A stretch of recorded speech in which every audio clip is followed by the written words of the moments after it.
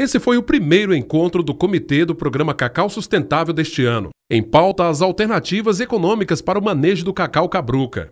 Ao todo, são seis reuniões anuais em torno da revitalização e ampliação do cultivo do cacau em harmonia com a Mata Atlântica. Sim, a ideia é organizar a cadeia produtiva para que todos saiam ganhando, né? E, como você disse, é, sustentabilizar essa, essa cultura, né? dar um, um, tom economicamente viável, socialmente justo e sustentável. E esse programa visa é, basicamente é, trabalhar as questões de gestão da atividade do cacau dentro do, do, de Linhares e região. Então, ano passado, nós já realizamos algumas ações, ações de, de mercado, né, de de levar, de proporcionar alguns produtores de cacau e chocolate aqui do estado de participar de feiras, feiras dentro do estado, como também de feiras é, fora do estado.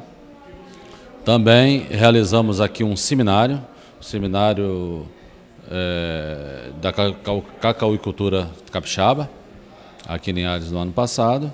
E é, agora, nesse dia do ano, estamos trabalhando para validar este plano de trabalho, esse, esse plano de ações para 2016, onde teremos né, diversas ações voltadas para esse setor.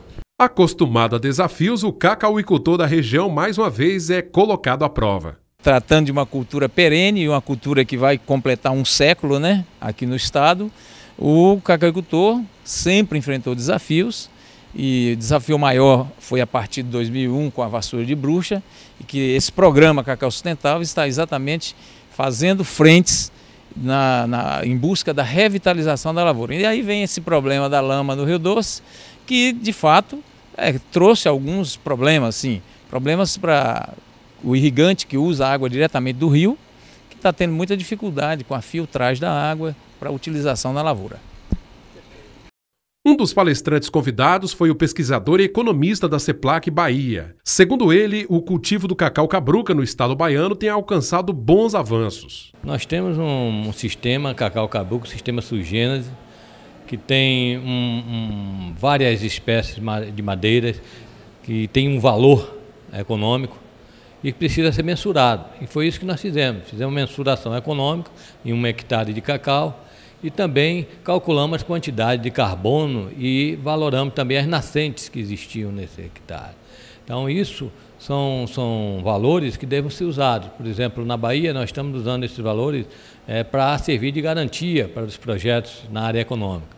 E também melhorando o, a receita com a, o crédito de carbono e também com o valor da nascente existe, que existe na fazenda. Para o presidente da Associação dos Cacauicultores de Linhares, a experiência conquistada na Bahia será muito bem-vinda ao Espírito Santo. A cacauicultura ela, ela passou um ano terrível ano passado, obviamente.